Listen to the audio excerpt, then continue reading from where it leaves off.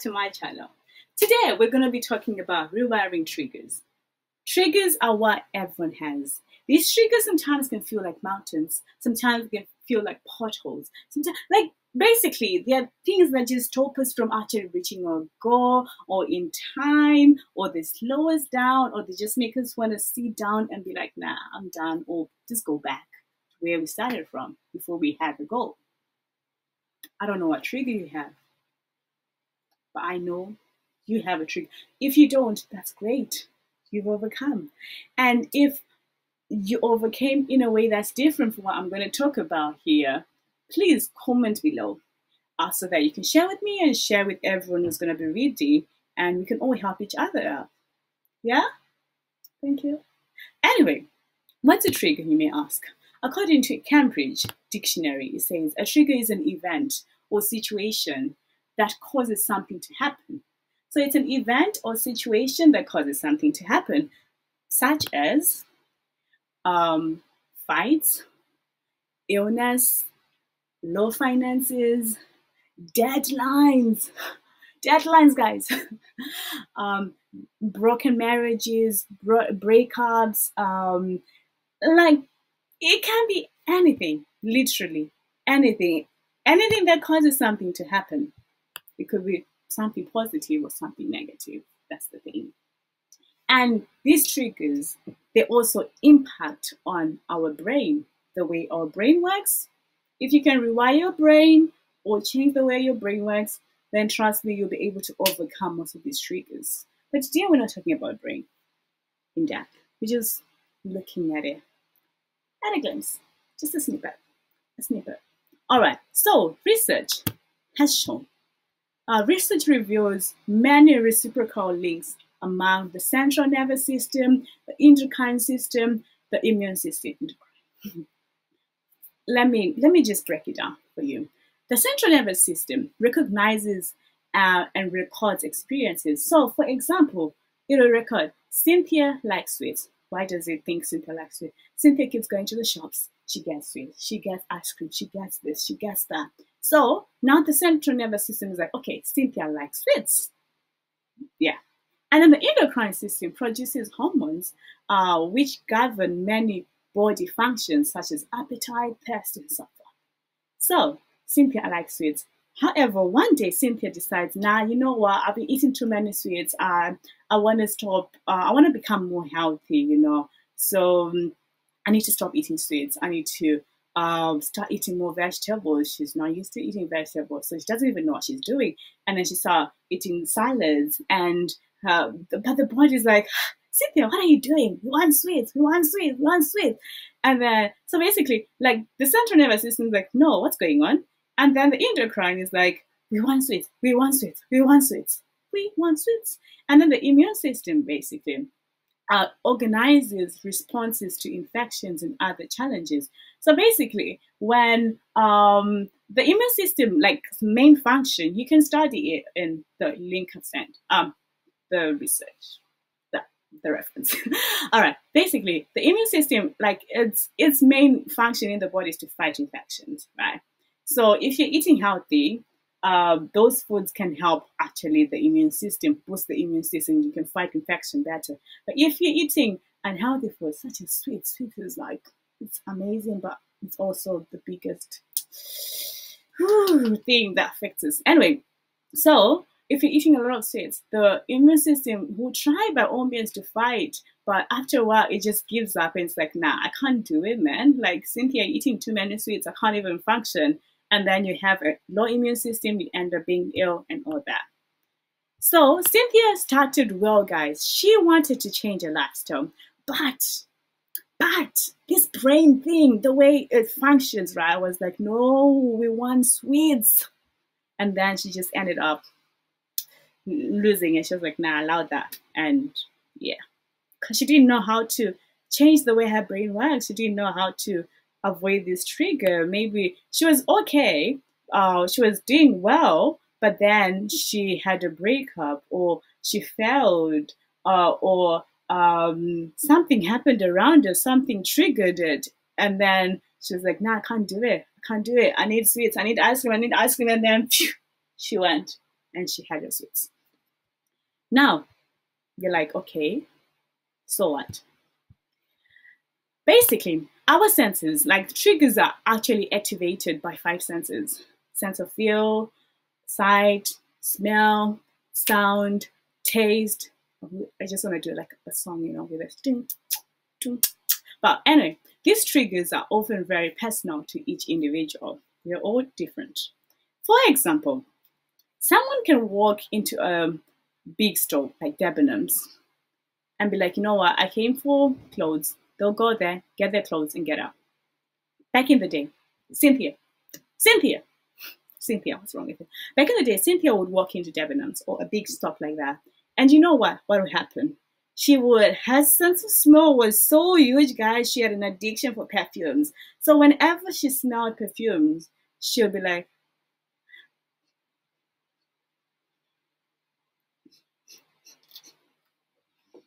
and then she just end up buying it. Like she'll spray it first, you know, like, you know, you know, like they just do it.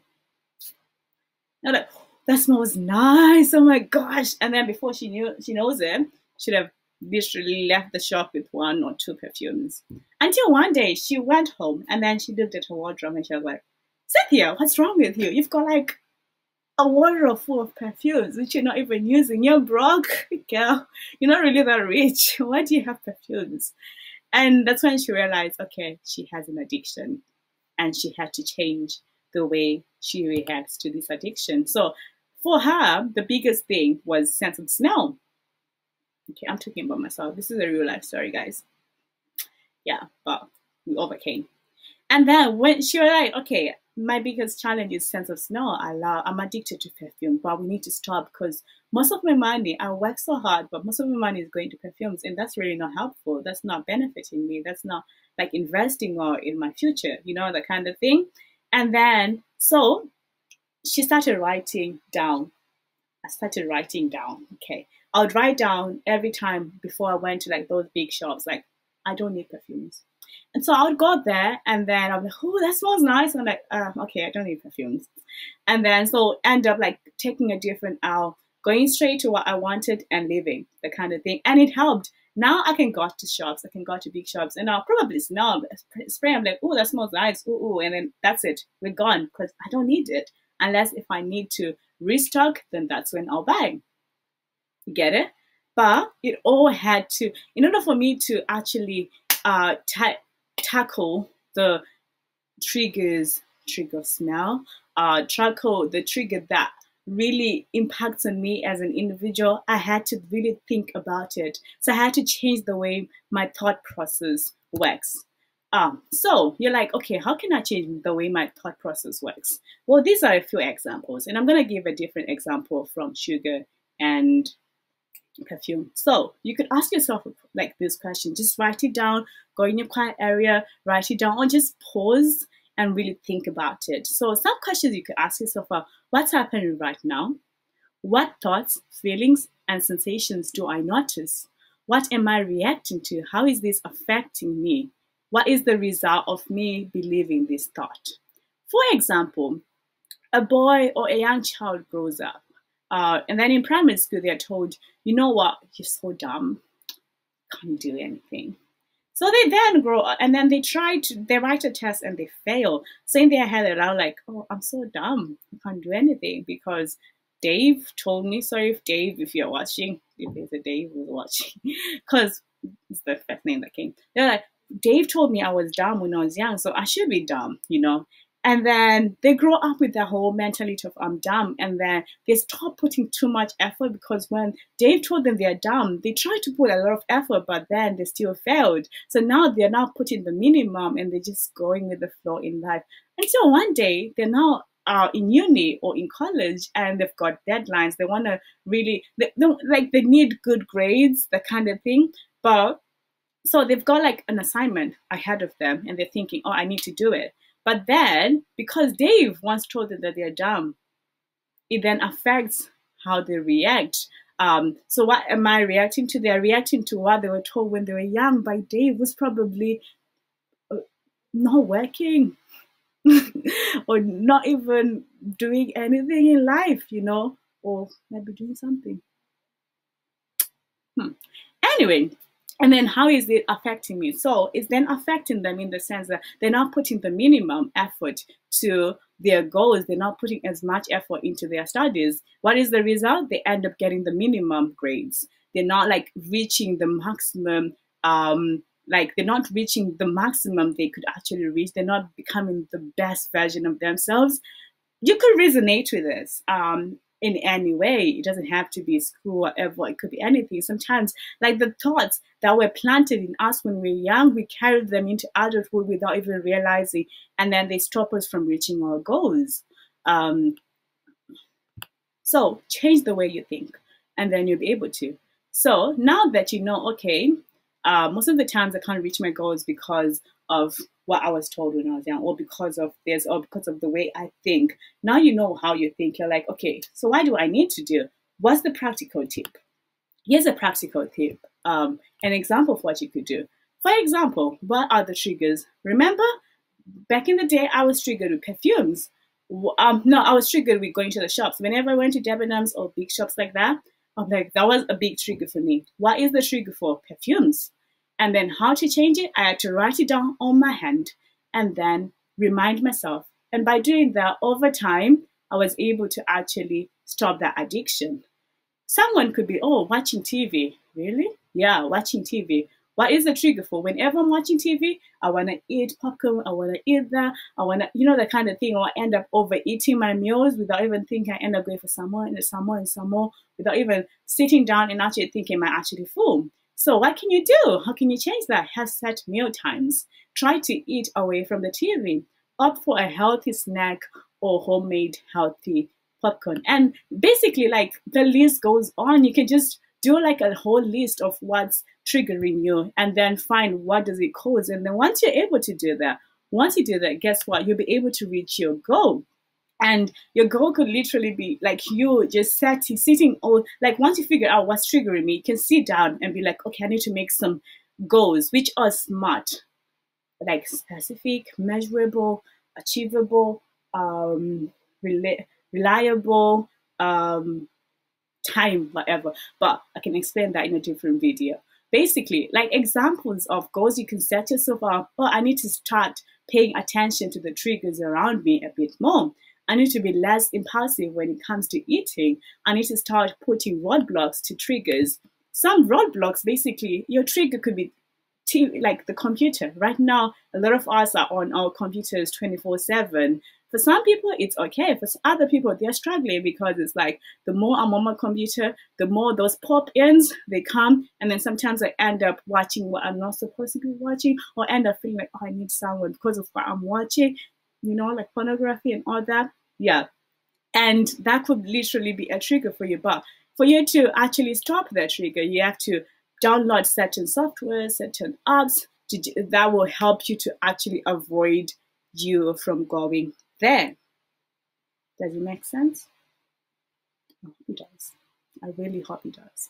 So once you're able to do that, guess what? You'll be able to reach your goal. When this week started, um, I remember last week I was trying to do this whole exercise, and then for a while I kind of slagged, and my best friend was like, "Cynthia," because we have an app where we record and then we we monitor each other. So she was like, "Hey, I haven't seen you running or doing any. What's going on?" I was like, "You know what? I need to get back to it."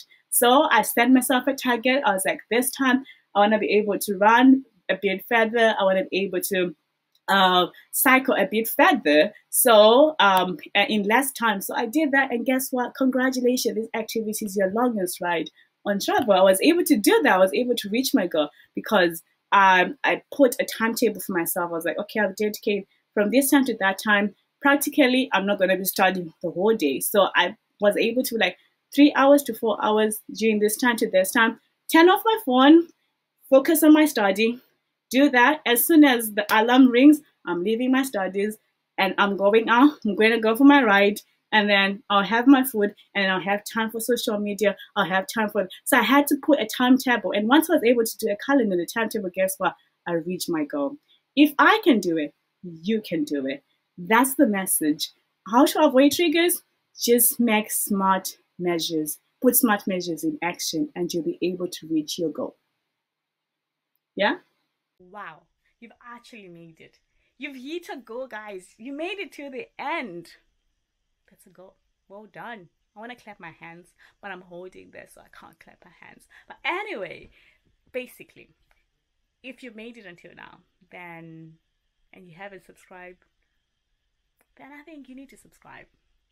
Yeah, yeah, subscribe and turn on your notifications so that you'll be able to know when the new videos are up. And if there are any topics you'd like me to touch on which are health related please leave a comment below so that I can include it in the series. And if you've learned anything different from what I've talked about when it comes to goals and triggers and everything like that then please comment below so that we can all learn together. But um, until next time you know what Música